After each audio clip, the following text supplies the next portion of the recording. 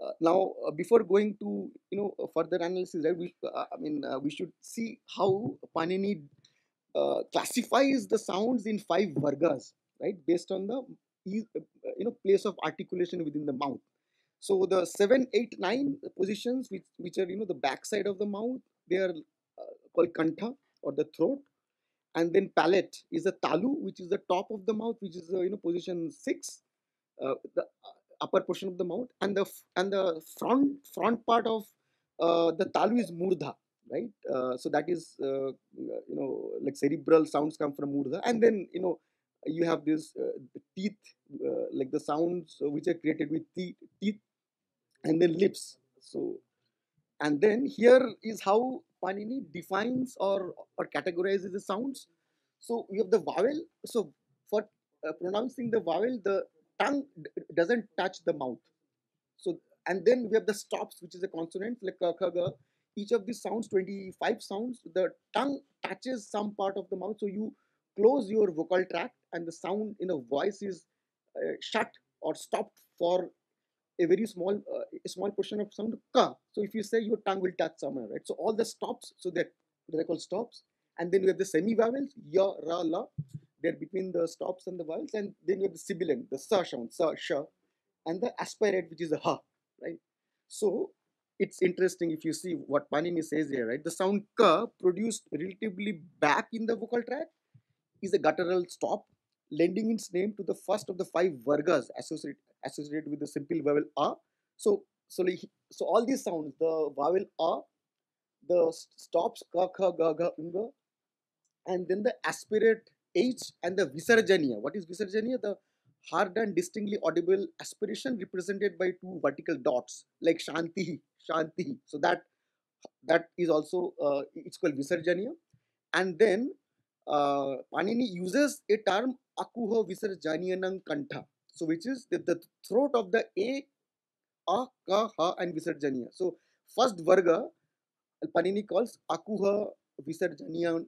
Uh, you know, visarjaniyanam kantha is is the place of articulation. So he, he uses an adjective for kantha, and uh, so uh, and then so the second varga, which which comes from talu, uh, the second varga is named after cha, the first of the five sounds produced by stopping or blocking a part of the oral cavity by touching the palate, the top of the mouth, with the front part of the tongue. And Panini's term for the place of articulation is Ichua uh, Ichu Ya Shanang Talu.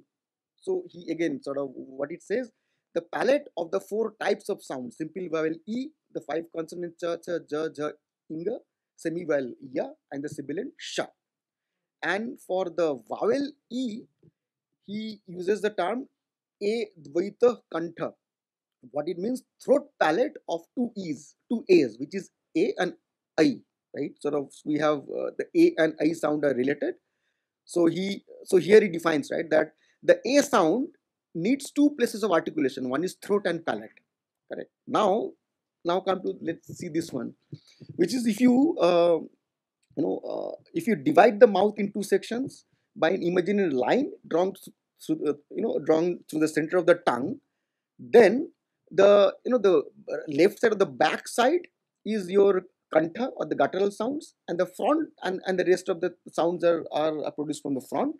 So the ka sound is produced from the back and the a sound is produced from the back but the cha and a sound are produced from the front side. Now what happens uh, when you have a sound like k? So k you have the ka sound and a compound vowel a. So the ka sound is produced from the back of the of your mouth and the a sound is produced from the front of your mouth. So when you say k so you know so you have to use both the k- kantha and the and the sort of uh, and, the talu right? So this a sound has a stimulus to simplify and you know push the sound place of articulation of the ka sound little little forward so the moment the ka is shifted little forward it becomes cha. Because if you see here right like ka is produced from the back of the mouth and cha is produced from the front of the mouth. The tongue instead of touching little back if little shifts to the front ka becomes cha. So that is the point where you know the k the k sound has a tendency to become cha. Because again of the ease of articulation and the stimulus that a vowel is creating to push the place of articulation of ka little forward. So the k sound could be palatalized to cha and sha because we saw the cha sha are again produced from the talu talavya uh, varga.